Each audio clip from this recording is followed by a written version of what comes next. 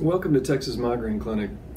I've personally evaluated approximately 5,200 headache and migraine patients over the past 17 years. With the continual refinement of this evaluation and treatment systems, like an algorithm, um, we've been able to achieve true healing and lasting relief of uh, the overwhelming majority of our patients. That means that in an average of say six sessions, give or take a couple of sessions, it's routine for patients to no longer need medications, um, injections, ongoing therapies, and that includes our own.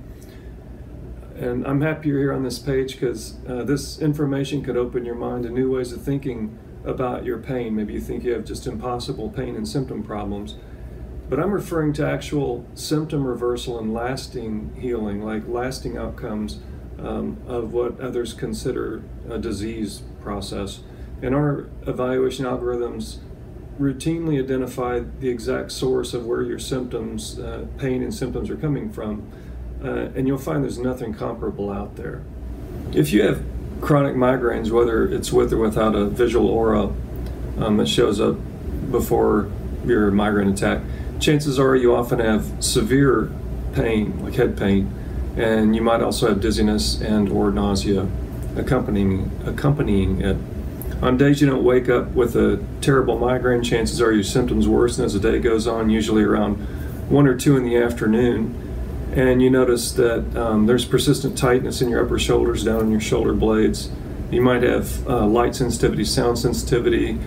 You're kind of fed up and irritated because you wish you could go and lay down in a, in a quiet room and just have everybody leave you alone and just check out from your day.